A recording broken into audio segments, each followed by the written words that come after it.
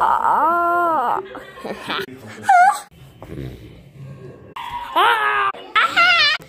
Ah. That's why I have the tattoo straight.